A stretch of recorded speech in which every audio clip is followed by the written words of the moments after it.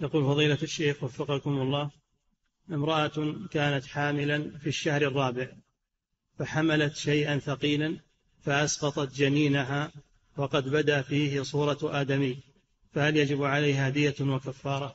نعم إذا بلغ أربعة أشهر نفخت فيه الروح فإذا تسببت في إسقاطه ولو لم تتعمد لأن الواجب عليها أن ترفق بنفسها وأن تحذر فإذا تسببت في إسقاطه فعليها الكفارة والدية. الدية حق للورثة إذا طالبوا بها ويحملها العاقلة.